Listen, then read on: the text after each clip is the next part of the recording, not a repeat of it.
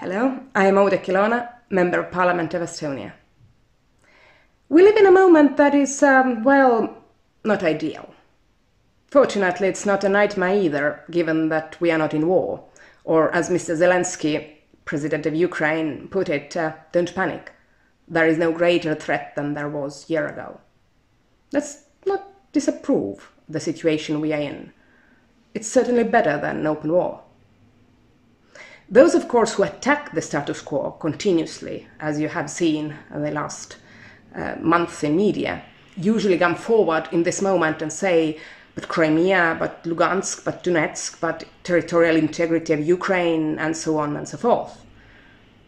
Well, let's ask them is the situation favorable to Russian interests? And if yes, why would she go to war over a situation that is already in her interests and what she hasn't tried to change since 2014?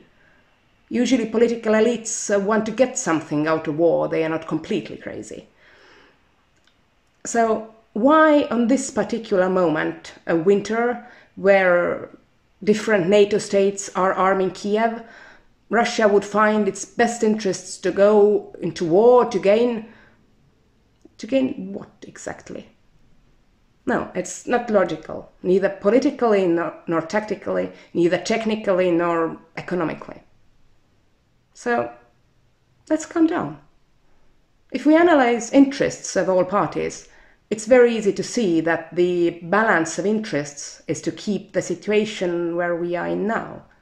Even for Mr. Zelensky, to mention him again, the loss from open war is um, many times higher than, uh, than going to the full fledged conflict, even if the status quo is, is not of his liking. It's better than alternative. So keep calm and carry on, as the English used to say. Let's try to limit as little as possible the contacts between ordinary people.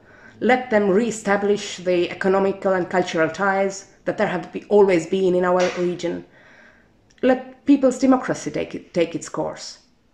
I'm sure that in some years, our ordinary people will better the situation. We will see the reality when, where diplomatic agreements between states are again possible those diplomatic agreements that would improve the situation for all of us. Thank you.